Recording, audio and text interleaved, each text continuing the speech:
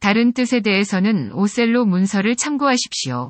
오셀로, 베니스의 무어인 오셀로의 비극은 셰익스피어가 쓴 비극이다. 윌리엄 셰익스피어의 사대 비극은 공통적으로 주인공들이 어떤 성격적 결함을 갖고 있고 이 결함으로 인해 초래된 비극을 다루고 있는데 오셀로는 질투로 인한 비극이다. 베니스의 장군인 무어인 오셀로는 원로원 의원의 딸 데스데모나의 사랑을 받아 그를 아내로 맞는다.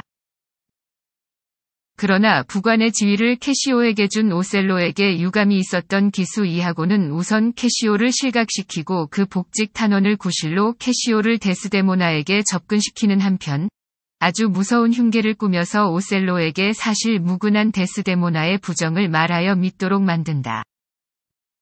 의혹과 질투에 사로잡힌 오셀로는 드디어 가장 사랑하는 아내를 침실에서 교살한다. 그 직후 이하고의 관계는 폭로되지만 이미 때가 늦어 오셀로는 스스로 목숨을 끊는다.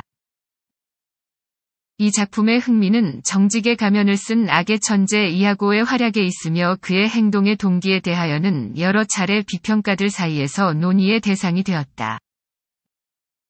오셀로는 지나치게 단순한 주인공이라고 보이기 쉬우나 그가 자기의 가슴에 검을 박는 최후의 장면에서 참회하는 그의 심정과 다시금 데스데모나의 진실을 확신하게 된 그의 기쁨을 읽어볼 때에 대개는 이 작품의 주제를 이해할 수 있다. 시청해주셔서 감사합니다.